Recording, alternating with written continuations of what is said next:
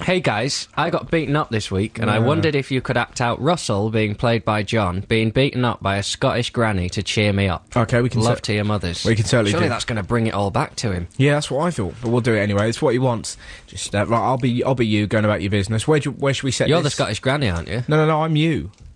So who's going to be the Scottish granny? You. You're No, gonna- I'm you. I'm you getting beaten up. no, no, no, no, no. You uh, you are the Scottish granny. I'm I'm you getting beaten up. I'm No, you. you're getting beaten up. Read it Let me read the email. hey guys, Got that I bit? got beaten up this week, and I cannot make this clear enough.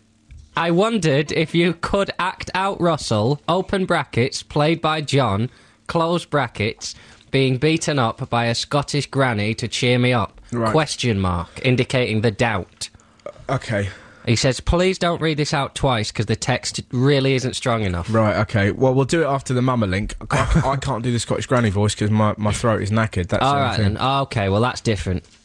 Yeah, We'll I know. have- we'll you can wave your tea bags at me all you like, Kate. The problem is You shouldn't have them out in the studio, by the way. my throat is gone. Um, so I don't care if they are drawstring. Yeah, exactly. Um, And that is not teabagging.